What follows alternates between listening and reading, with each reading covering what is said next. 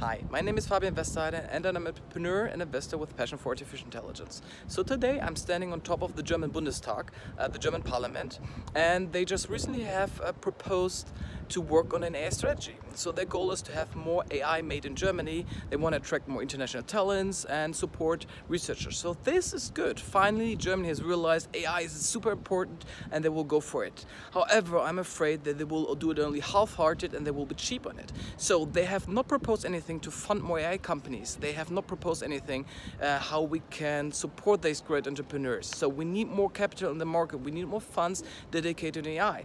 Um, second is they have not not discussed the whole topic of data.